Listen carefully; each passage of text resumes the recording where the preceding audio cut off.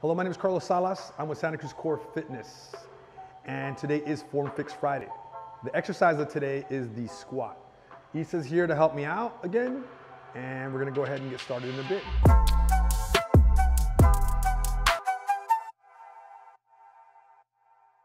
And she's gonna be utilizing the medicine ball. You could do this without any uh, exercise equipment, or you could utilize some dumbbells as well, or rubber bands. But today we'll be using the medicine ball and some dumbbells.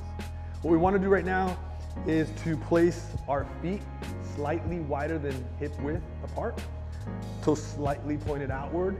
And we're gonna drive the knee in alignment with our big toe as we drop down. I'm gonna be utilizing the dumbbells on the outsides. She's gonna be keeping that medicine ball against her chest and she's gonna minimize her ability to drop down. She's gonna keep her chest tall and we're gonna go ahead and initiate the movement, keeping our hips back, driving those hips back as we drop down, keeping our hips and our femur, dropping it down parallel to the floor and coming back out of that and squeezing our glutes.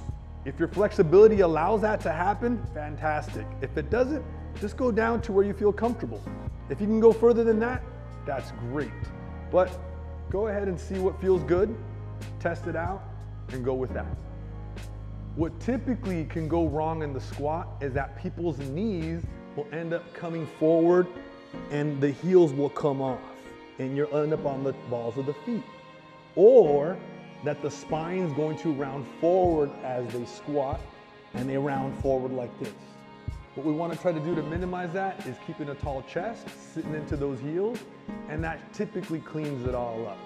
Thank you for watching and make sure to follow us for more weekly content.